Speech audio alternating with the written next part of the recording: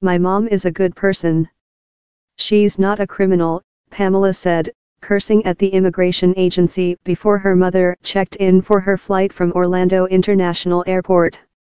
Alejandra and Timo Juarez, a naturalized citizen who runs a roofing business, quietly raised Pamela and their nine-year-old daughter, Estela, in the central Florida town of Davenport until a 2013 traffic stop exposed her legal status. Afterward, she regularly checked in with U.S. immigration and customs officials, which typically went after higher priority targets like people with criminal records. Timo didn't figure his vote for President Donald Trump would affect them personally.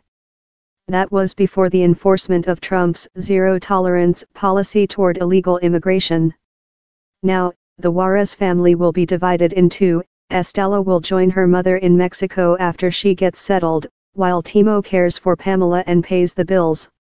This is not going to be the last case like this, Manny said. This is potentially the first of many. There are many military spouses in the same situation.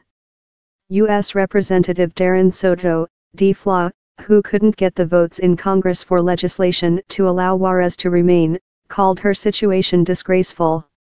We're not going to give up, he told her with a hug at the airport. It's an absolute disgrace by the Trump administration to be deporting a patriotic spouse, Soto said.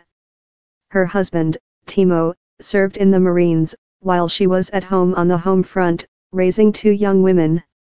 What justice does this serve? Alejandra ultimately decided to self-deport to Mexico, rather than turn herself in to be detained and then deported.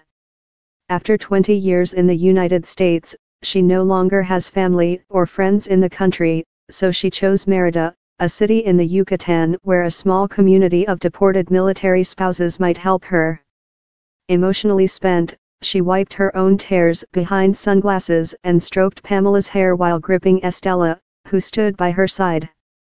Timo said he preferred not to talk before they were all escorted through security for their final goodbyes.